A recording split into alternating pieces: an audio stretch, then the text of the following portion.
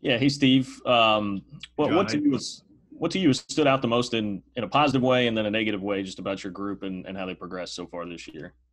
You know, I've been really encouraged about uh, the way the four the four of them, you know, have worked together as far as uh, you know Deuce and, and Cody and and uh, Eli and J Ball. I mean, they've really grown together as a group.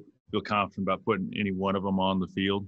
Um, I think Deuce and Cody have earned themselves into a position of getting equal reps is uh, Justin and Eli, and that's the last game we pretty much were balanced right around 44 for the first group and 41 for the second group.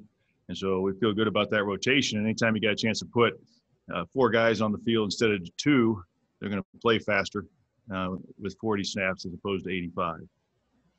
I know this is something I've asked Justin about before, but from your standpoint, where do you feel like he's at just confidence wise, getting back from the, the knee surgery and trying to trust the knee and everything this year? You know, I think Justin, very smart uh, player. You know, he, he understands the scheme, uh, he understands where he needs to be, and that's what allows him to be on the field. I think he his knee is probably not. I'm guessing. You know, I haven't seen film of him uh, before the knee. Um, I don't. I wouldn't say he's 100% of where he probably was but I think he understands how the knee affects him and what limitations it may may present for him. Appreciate it, Steve. Thanks. Yeah, thanks, John. Adam. Coach, how do you feel about this group of linebackers that you have now going up against another very talented offense with uh, Chuba and the talented air attack Oklahoma State has as well? Yeah, you know, um, been an awesome group to work with. First of all, um, I appreciate everything that they've done so far this year. Um, I think uh, as I look at it, I think you know a guy like Deuce has really tried the last four weeks to apply uh, himself and understanding uh, what he needs to work on. You know, to put himself in a position uh, to make more plays, um, which is going to be important for all four linebackers. You know, and Cody uh, is a tremendous uh, special teams player for us and gives us unbelievable reps um, at linebacker.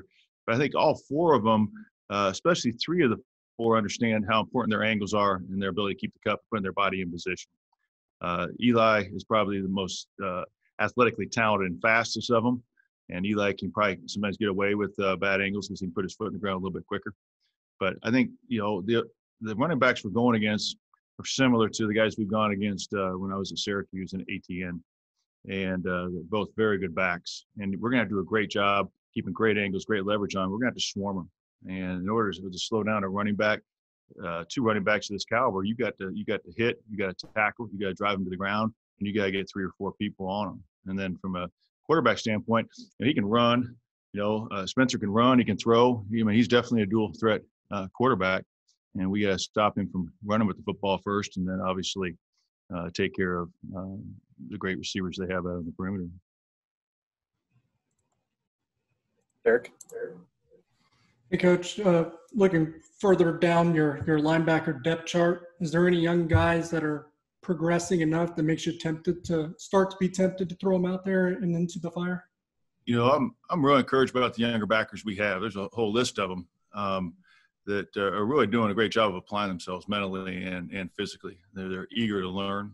You know, I look at Austin Moore, you know, Nick Allen, and we moved Ryan over there, Henny uh, from safety. You know, he's a travelman, I guess. He came here as a quarterback and then a safety and now a, a linebacker. And you talk about a guy who, who wears you out as a coach as far as wanting to learn. I mean, he's up here all the time and you never want to tell a young man no, but sometimes you got to tell Ryan, hey, man, we don't have enough time. We only can give you 20 hours a uh, a week, you know. So, but he's he's eager to learn too. You know, you got Levi Archer, uh, who's a talented kid that can run. So I'm I'm encouraged about the future at that that spot with these young guys and their attitude towards uh, learning and developing. How would you describe your first year in the Big 12 and what you've kind of seen from the offenses in this league compared to other places you've been? You know, so far there's a ton of similarity. It seems like uh, the whole Big 12 goes to a convention, decides they're all going to run the same offense because uh, a lot of Y off, you know, talent, uh, athletic tight ends that they're going to move around, flex out, bring them in. Not a lot of Y on the line of scrimmage, a lot of Y off. You know, a lot of plays that we consider similar, run run game wise, pass game wise. You know, a lot of RPOs and uh, similar similar pass routes. So uh, you got to be athletic, you know, to play in this league. You got to recruit from my position, linebacker wise. You got to recruit athletes who can run. You don't need uh, six foot three, 245 pound linebackers. You got to take on ISO. You got to you got to have guys that can can cover ground, uh, can tackle in space, and are very aware of their uh, uh, the routes that are going on around them. So it's it's a it's a you got to stop the run. There's good running backs in this league, but the ball's thrown around from uh, horizontally to vertically. Thanks, Coach. Thank you. Last one here, Ryan.